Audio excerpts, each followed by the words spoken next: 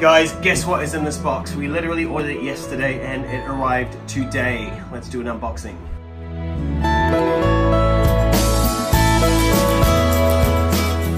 Packed to perfection.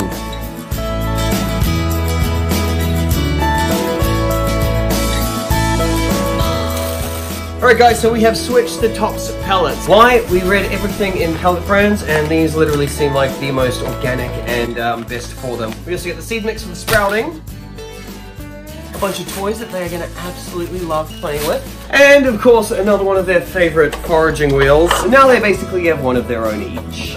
Now with these, as much as we fill them up with treats, we actually make it way harder, and that's why Northern Parrots actually sent us strips of cardboard. Now, you might think, what a weird thing. When you fill it up with treats, you want to pack it with cardboard so they really, really need to forage to